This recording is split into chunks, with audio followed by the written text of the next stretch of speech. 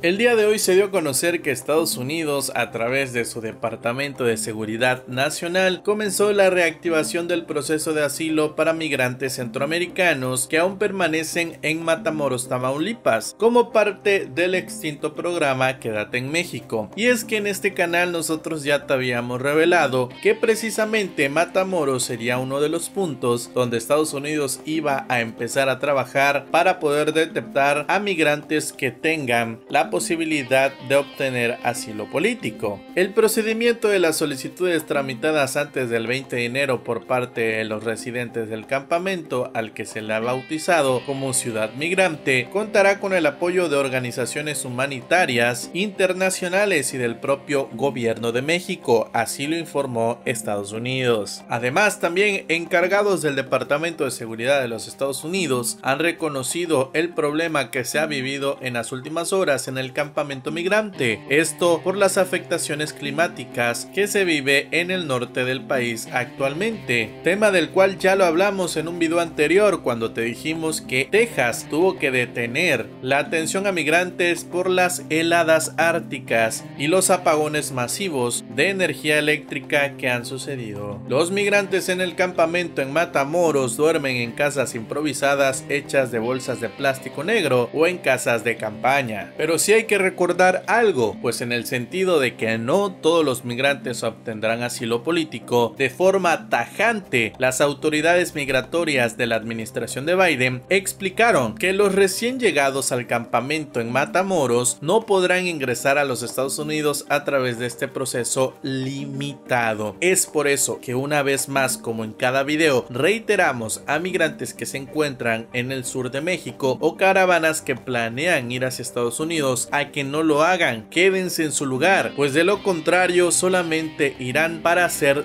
deportados. Así es, el gobierno de los Estados Unidos y autoridades migratorias han sido tajantes y explícitos. Solamente se atenderá a un grupo limitado que ya estuvieron previamente registrados y los demás se quedarán en México o serán deportados de manera inmediata. Sin embargo, pues bueno, los migrantes varados en Matamoros se sienten ilusionados luego de que este miércoles empezara el registro presencial de candidatos a asilo y se anunciará que esta misma semana pasarán finalmente al país vecino las primeras 25 personas que tienen cita ante una corte estadounidense. Déjame saber lo que piensas acerca de esto. Migrantes del campamento de Matamoros se sienten ilusionados, sin embargo, tristemente, y alguien lo tiene que decir, no todos podrán entrar, pues solamente será un grupo muy limitado.